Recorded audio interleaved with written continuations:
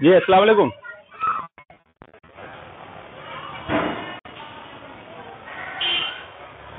Hello. This call is now being recorded. जी अस्सलाम वालेकुम अब्दुल भाई। वालेकुम अस्सलाम जी खैरियत लोटिया है। जी जी हाँ ले आ- आ गया मैं घर आ गया।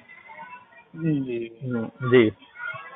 तो अपनी गुफ्तु वहाँ रह गई थी कि एक होता है अकीदा और एक होता है इलाज। जी जी। हाँ तो आपके नज़दीक अकीदा शिरक होगा और इलाज जायज़ होगा। जी। हम्म तो जो इलाज पर अकीदा बना ले उस पर एतमाद कर ले तो वो शिरक होगा कि नहीं आपके नज़दीक?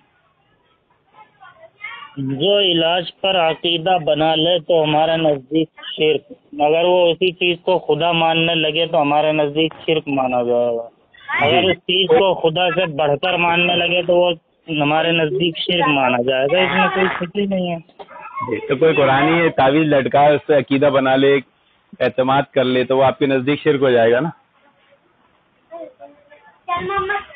फिर उसी बात पर लौटते हैं पहले क्या नाम है आप सिर्फ़ इतना बताए कुरानी तावीज़ात आपके नज़दीक बिल्कुल असरनो हराम है। हम्म, अब चलिए मैं बताता हूँ अपना।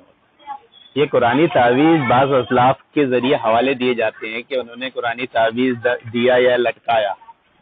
तो इलाज जब तक इलाज रहेगा तो वो हराम या वो नहीं रहता। जैसे हम नहीं रहता। नाजायज और हराम नहीं होता इलाज। अच्छा जब तक उसके ऊपर जैसे पहली जैसे मिसाल दूँ कि हम इलाज के लिए गए और डॉक्टर ने हमको बोतल दिया चढ़ाने के लिए। बोतल लटकाए हमने लगा लिए। अब ये इलाज है। अब कोई ये अकीदा बना ले कि जब तक ये बोतल लटकी रहेगी मैं शिफायाब हूँगा नहीं तो नहीं हूँगा और उसको बोतल को लिए लिए साथ में घूमता रहे तो भी शिरक हो जाएगा। पहली अच्छा चीज़। हाँ, अब ये कुरानी इलाज कुरानी आयत का देना तो इसमें कंफ्यूज होता है आदमी यार ये तो दम है ये दम नहीं है क्योंकि ये चीज़ अल्लाह के नबी से साबित नहीं है। तो जो चीज़ नबी से साबित ना हो और उसमें इबहम हो तो उसको छोड़ देना उससे दूर रहना ही बेहतर है कहीं हम किसी तरह के हराम या शिरकिया काम में मुब्तला ना हो जाए। और ये अक्सर। देखा जाता है जैसे मिसाल के तौर पे कि कुरानी तावीज का बहाना बनाकर ही लोग एतमाद यकीन वाले तावीज़ों पर भरोसा कर लेते हैं। जिन तावीज़ फिर वही बात आ गई। फिर मेरा मसलक मेरे मसलक की तारीफ़ हो गई। फिर मेरा मौकफ आप खुद ही साबित कर रहे हैं हज़रत। बात- मेरी आप बात- नहीं एक मिनट एक मिनट एक मिनट। आपने मेरा मसलक मेरा मौकफ खुद ही साबित कर दिया कि क्या नाम है। अगर लोग अकीदा ना बना सकते हो तो ऐसा तावीज और ऐसा कुरानी तावीज देना जायज़ है उसकी तारीफ़ आप खुद कर रहे हैं इसमें कोई मसला ही नहीं रहा। आवाज़ फंसने लगी आपकी फिर। आवाज़ क्यों फंस रही है आपकी इतनी?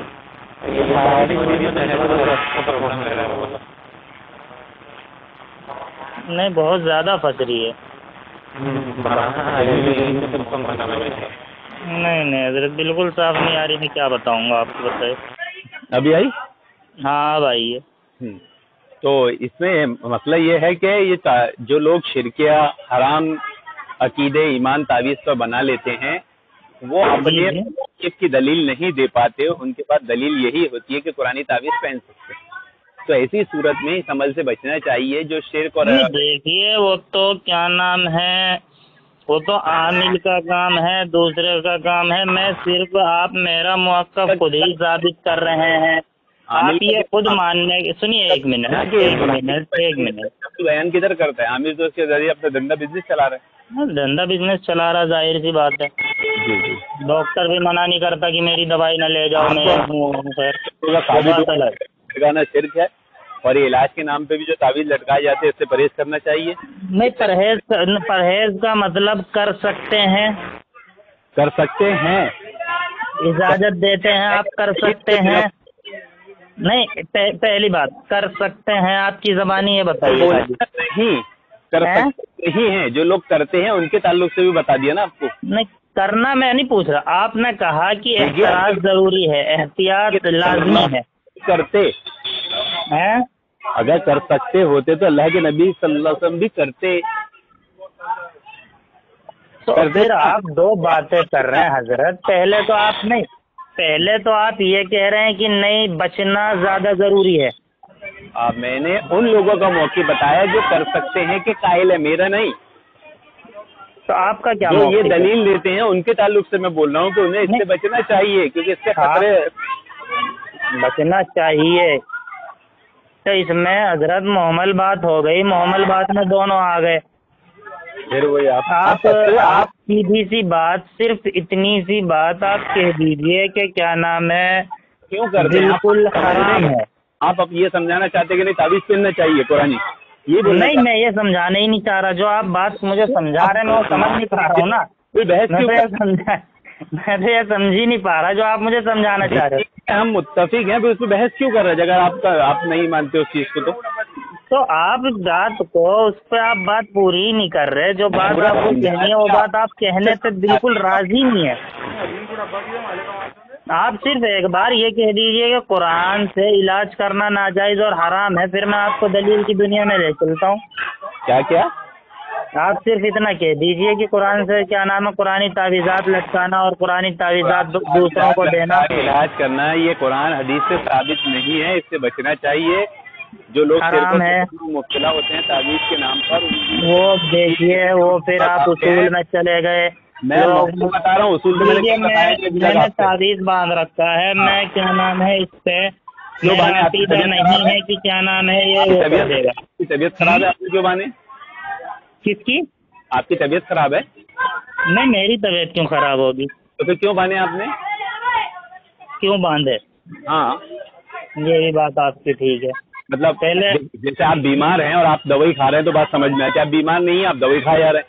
तो मैं। पूछूँगा ना क्यों खा रहे भाई? शौक चढ़ा हुआ था इसीलिए। तो ये भी शिरक हो जाएगा। यार नदीम भाई जो बात मैं पूछना चाह रहा हूँ उसका जवाब आप दे रहे नहीं घुमा रहे हो इतनी देर से।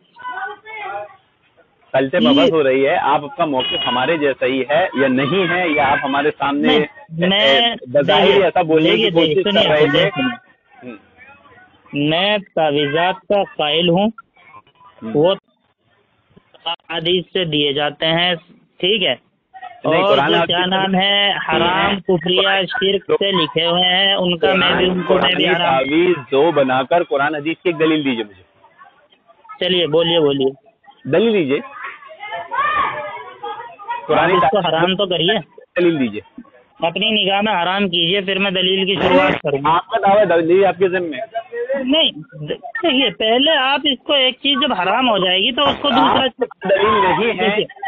ग्राहक का काम मालिक का काम क्या होता है? एक आदमी आपके पास ग्राहक आया है कोई सामान खरीदने अगर वो उस सामान को रिजेक्ट करता है तो पहले उससे आप यही पूछते हैं ना कि भाई किस वजह से इस सामान को आप रिजेक्ट कर रहे हो? नहीं मैं तो पहले पूछूँगा ना ये सड़ाऊ माल आपने क्यों रखा? आपको क्या पता था कि सड़ाऊ माल है आपके पास आपके पास वो नहीं था? पहले तो ये बोलूँगा मैं। क्या बोलेंगे? ये माल आपने रखा क्यों? आपके पास क्या दलील है क्या माल अच्छा है? अच्छा। अभी कोयले की दुकान पे आप सोने का बोर्ड लगा के बैठ जाएँगे तो मैं साबित नहीं करने जाऊँगा ये कोयला है।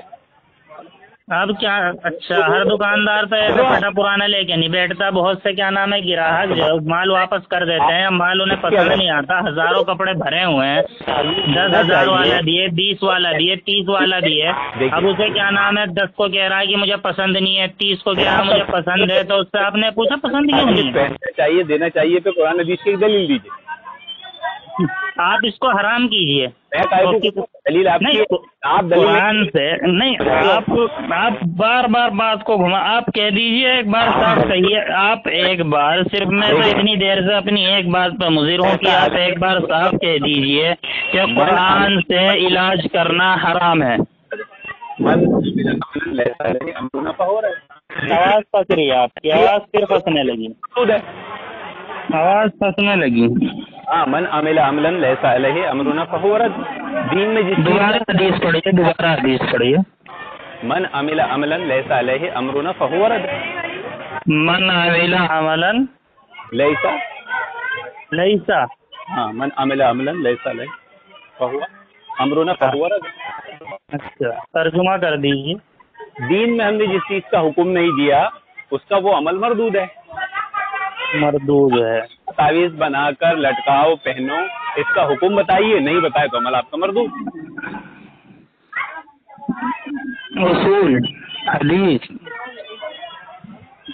जो बात मैं कहना चाह रहा हूँ अभी तक वो बात नहीं ला रहे। गुफ्तु का थोड़ा मसरूफ होने वाला हूँ मगरिब का टाइम हो रहा है। हाँ वो बात तो अभी तक आप उस बात को जिस बात को मैं इतनी देर से आप इतनी देर से बहस का आप इतनी देर से बात कर रहे हैं। सिर्फ़ एक बार नहीं नदीम भाई। अकाइद से मत खेलिए। नहीं नदीम भाई सुनिए। फायदों के लिए लोगों के अकीदे से मत खेलिए। नहीं नदीम भाई सुनिए मेरी बात तो सुनिए।